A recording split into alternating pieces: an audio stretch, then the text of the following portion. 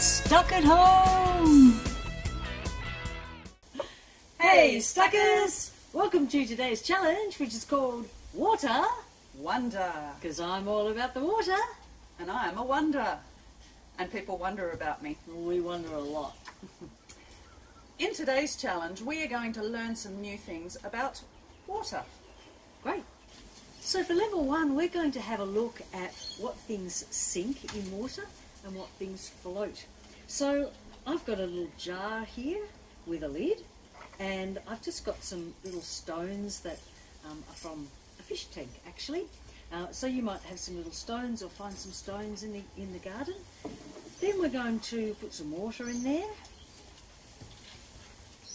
I wonder, Sal, if you wouldn't mind putting some colouring in there just so we can see it nice and easily. Thanks. I'm going to put a fish in here. Ooh, probably the fish won't like this bit because now I'm going to tip some oil in just from the cupboard. You might just need to ask permission before you start taking the oil. And we'll pop some oil in, Ooh, bubbles. bubbles, and then we're going to shake it all up. Ooh, it really bothers me that that lid is going to cause a problem. I'll just stand back in case it does. Shake it all up. Is it going to explode? Oh. And then we're going to let that sit for a while and see what happens. See which things sink and which ones float. We'll have another look at the end of today's challenge. In level two, we're going to mix some things with water to see what happens. So I've got two glasses of water. I think I'm going to start with some sugar. Mm-hmm. Just going to put a little bit of sugar in with the water. And I'm going to give it a good mix because I'm interested to see whether the sugar will dissolve in the water, which means that you won't be able to see any of the sugar, or whether all the bits will still be on there. So there's Feel some bits in there. Still tiny little bits in there, but the more I stir, the less there are. All right. Wow, So, all gone. all gone. That means that sugar does dissolve in the water. Great. Well, I'll do another investigation and let's try pepper. Would you like me to do this, Sal? Yes, I would. It might make me sneeze. Sometimes pepper gets up my nose. Peppercorns that I'm grinding here into the into the glass of water. Just sitting on top at the moment. They Let's are. see what happens Oh, when look, you some of them are starting to fall. Yeah. Okay, I'll give that a stir. You might like to drink this with your dinner tonight, Kit. Mixing in there much, Sal. Oh, they're having fun though, going yeah, around and they're around. having a good little party. A lot of stirring. So the water's gone a little bit brown, but mostly there's still pepper everywhere. So I think we're going to say that. Oh, pepper... give it another little bit of a stir. Let's just. I'll do it the opposite direction. Maybe Oh, that's all it needs. Could have been an anti-clockwise thing. No, No. I think we'll say that pepper doesn't dissolve in water. So we thought, with some permission, try putting some different things into water Mm. and seeing what dissolves in water and what doesn't. Great. And now for level three, we're going to learn about what happens when water and detergent mix together. So I've just got some washing up detergent in here, and I've got a toothpick just so that I can get a, a little drop of it um, when we're ready to do our experiment.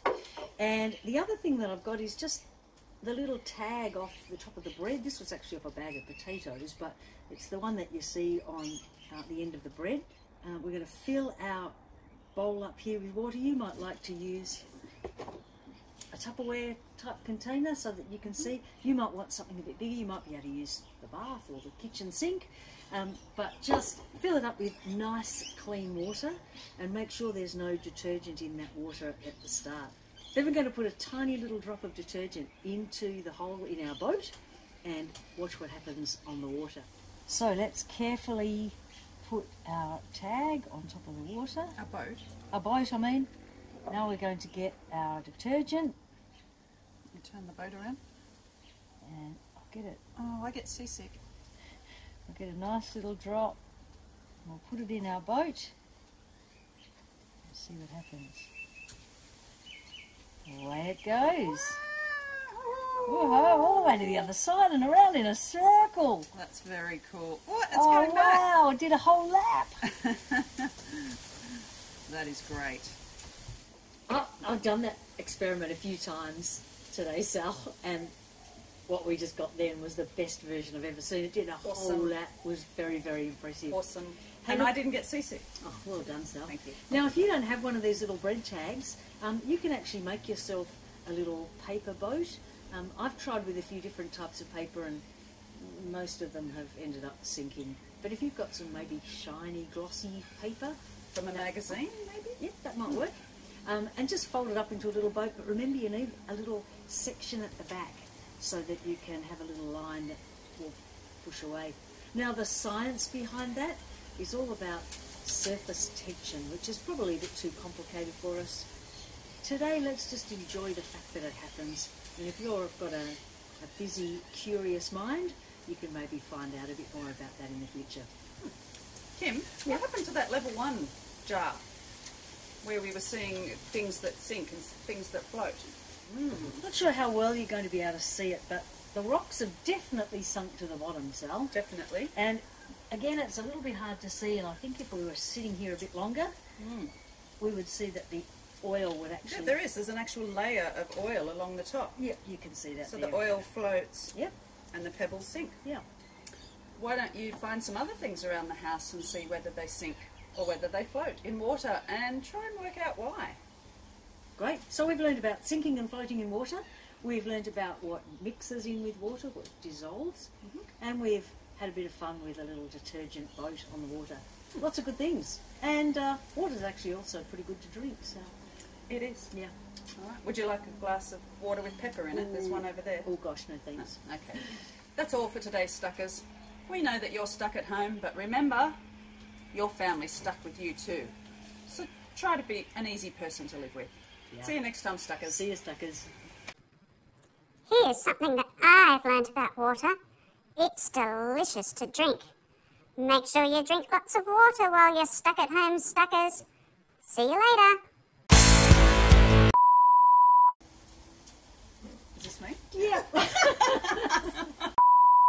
this to disappear? Sure. That salt Magic trick. is definitely This is sugar. this sugar. Gosh, I'm hoping you're not cooking a birthday cake or anything anytime There'll be lots of salt in it. I also like the way you keep your little finger out there just to make it a bit more of a delicate operation. You're drinking this when I'm finished.